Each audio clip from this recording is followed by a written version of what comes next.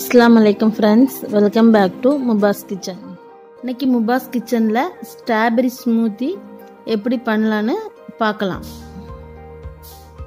ஸ்மூத்திக்கு தேவையான இன்க்ரீடியன்ட்ஸ் என்னென்னா ஸ்ட்ராபெரி அப்புறம் காய்ச்சி ஃப்ரீசரில் எடுத்து வச்சுருந்த பால் தேவையான அளவு சர்க்கரை.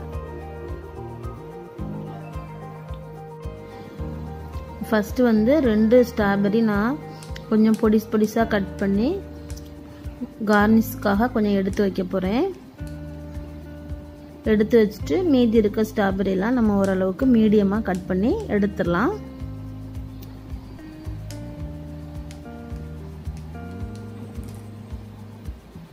நம்ம கட் பண்ண எல்லா ஸ்ட்ராபெரியும் ஜாரில் போட்டுடலாம்.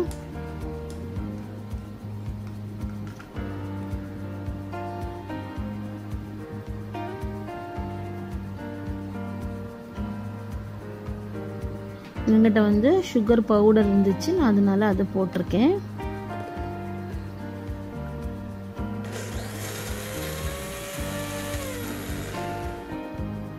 ஃபஸ்ட்டு வந்து நம்ம எந்த ஃப்ரெஷ் ஜூஸ் அடித்தாலுமே ஃபஸ்ட்டு ஒரு நாலஞ்சு பல்ஸ் பண்ணிவிட்டு அதுக்கப்புறம் நம்ம பால் சேர்க்கதா இருந்தாலும் சரி அப்புறம் தண்ணி சேர்க்கதா இருந்தாலும் சரி நம்ம வந்து ஃபஸ்ட்டு வந்து அடிச்சுட்டு ரெண்டாவது சேர்த்தோம்னா நமக்கு ஜூஸ் வந்து நல்லா க்ரீமியாக இருக்கும்.